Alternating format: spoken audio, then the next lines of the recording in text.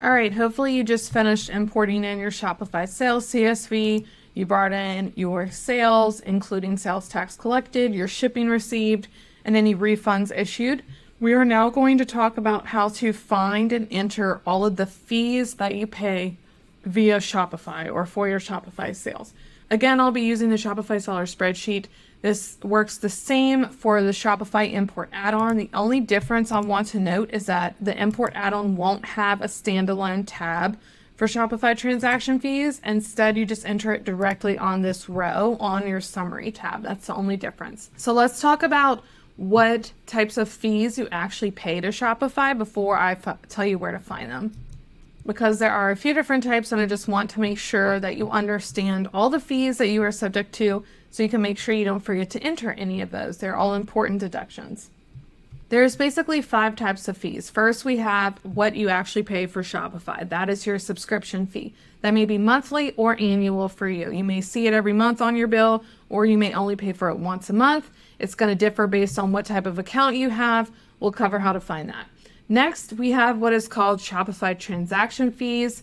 Technically, they call their transaction fees the fees that they may charge you if you choose not to accept Shopify payments. So, this probably doesn't apply to you. I don't think it applies to hardly anybody these days because most of us opt to use Shop Pay or Shopify payments. They will only charge you transaction fees if you opt out of Shopify payments. And I don't mean if you offer Shopify payments, but your customer chooses another form of payment like PayPal or something. I mean, if you refuse to offer any Shop Pay option on your site, then you will have these transaction fees. So this does not apply to most of us. There are Shopify credit card processing fees which is totally different. That is like the, I don't know it off the top of my head, it's usually 2.9% plus like 30 cents or something per transaction. This is standard for any credit card processor, Stripe, PayPal, Shop Payments, etc. That is going to be covered last. Just don't get transaction fees and credit card processing fees confused. You can, however, use this Shopify transaction fees tab or row to enter those credit card processing fees if you want. Because most of us don't really have Shopify transaction fees because we're using ShopPay. Hope that makes sense. Third, we have app fees. This is for any third party applications that you pay for and integrate through Shopify. We often pay monthly for those sorts of things. You might also see marketing fees on here. I haven't broken that out as a separate category, but marketing fees for the new Shopify email app may show up here as well. Finally, we have shipping fees. This is only if you purchase your postage labels through your Shopify account. If you have it integrated through usually a third party app as part of Shopify, that will show up on your Shopify bill also. Like I mentioned, credit card processing fees. This is the percentage of credit card payments for Shop Pay that Shopify takes from your bill. And all of these, except for this fifth credit card processing fee, can be found in one place. I'm going to show you where to find that and where to enter it, and then we'll cover how to fund the credit card processing fees. So head over to your Shopify account. You need to go to settings. It's no longer under finances. It used to be there back in the day, but now we find our bill under settings. Then you want to click on billing. I'm going to scroll down a tiny bit so you can't see my personal information up there, but you should see a past bills or recent bills screen. Again, Shopify tends to change how you find this every few months. If you're ever in doubt and your screen looks different, head over to the Google Doc instructions. Those tend to get updated quickly.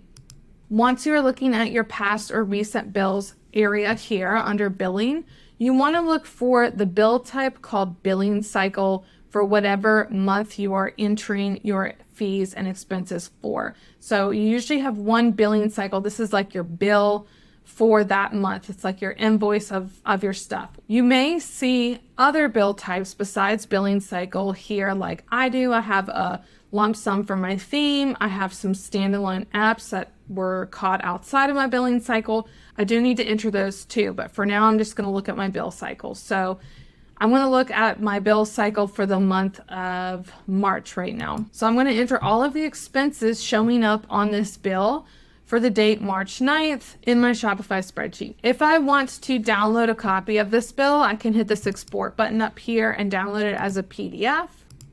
That's always nice to give me an itemized breakdown that I can save for my records. But I can enter these expenses either from the PDF or from the billing screen itself whenever I want. I'm going to go back over here. Let's enter this for March 9th on my Shopify seller spreadsheet. So first I have $101.97 of apps. There are a few different places that I could choose to enter this. I could put it as a Shopify monthly fee. I could put my apps as office expenses or advertising, depending on what they're for. There's really multiple ways that you can categorize different things. So I'm going to go ahead and take the stance that my Shopify monthly fees are going to be my subscription, but I could enter the apps there. Either one is fine. I'm going to go ahead and enter the apps under office expenses. So this was dated 3-9. It was $101.97.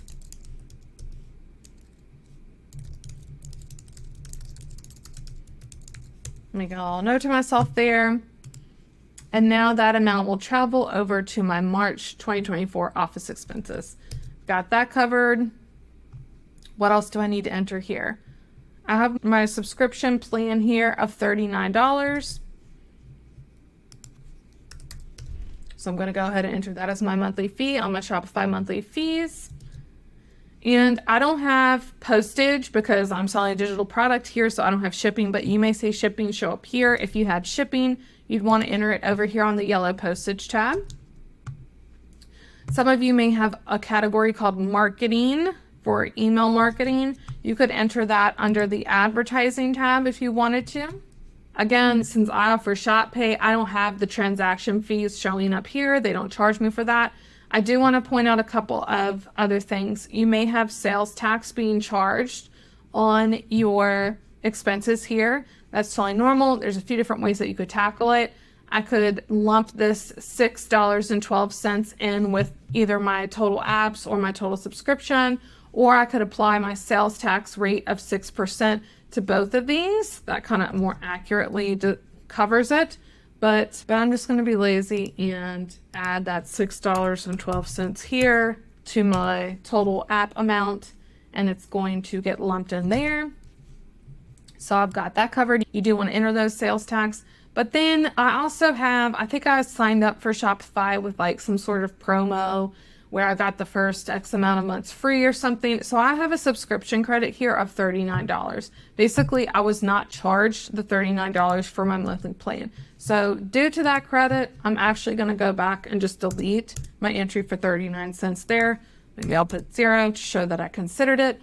So if you have a credit, you can reduce any of the fees you entered by the amount of that credit, it would be entered as a negative in that case. So that covers entering my monthly bill for Shopify. I'm going to go back to this billing screen one more time. I do have an additional app that I paid for in the month of March for 106 bucks. Again, I can export a PDF of that. This was like a one-time fee that I had to pay for at the time that I did it. I don't think that this happens a whole lot, but it was $106 including sales tax. Again, I'm probably going to enter that as an office expense. This is where I usually put my apps.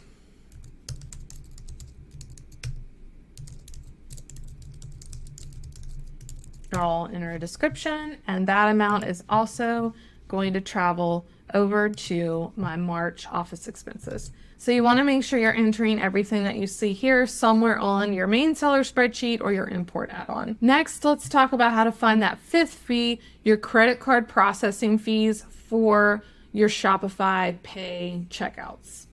I used to tell you to find it under that same settings screen, but under payments and view payouts. But if you have started using the Shopify balance system as your bank account, you're not going to see view payouts here anymore. So the easiest way to find it for any type of Shopify user is to head to the finance menu over here and then click on payouts. Once you're on this screen, you can just click export, go to items by date, select what month you want to export your fees for, your credit card processing fees for. I'm going to do the month of February. I leave this export as a CSV for Excel numbers or other spreadsheet programs, and then I hit export items. It's going to email me the file. You're going to have to go log into whatever email is listed up here and find the email. The email subject will be export of your payment transactions. You'll get an email for each one. And then as long as you are logged into your Shopify site, once you get this email, you can click on it and it will download as a CSV on your computer. So you can open it in Excel or upload it to Google Sheets or whatever software you're using. If you ever have trouble downloading this from your email, sometimes it works if you right click on it for some reason then save it instead of downloading it, but it's doing fine with me just regular clicking on it right now. I've opened that CSV in Excel and now I can easily total up my fees for the month. Side note, anytime you see hashtags in a column, it just means that your column width isn't wide enough. You can click and drag to see all of it. There are a few different ways that we can do this. This is what I'm concerned about is column J right here. I can actually just click on column J and see that the sum of my credit card processing fees for this month, which is January, is $13.20. Most spreadsheet software will total that up for you in the bottom corner. So if I wanted to do it that way, I could just say for the month of January, so I'll date it January 31st at $13.20 of credit card processing fees. All right and then that would travel forward over here to 1320. If I don't want to add these together, or maybe my spreadsheet software is not doing that for me, the other thing that you could do is copy this column. So I can copy those numbers. Let me get rid of this and pretend I didn't do that. Then I can paste it in my amount column. I could copy these dates, paste them in the date column. And then I just have Shopify credit card processing fees as the vendor and description. And then that will sum up and bring over that $13.20 for me. So you can put the sum here, you can copy and paste the individual transactions, whatever floats your boat. The main goal is that we get the credit card processing fees over here for the month.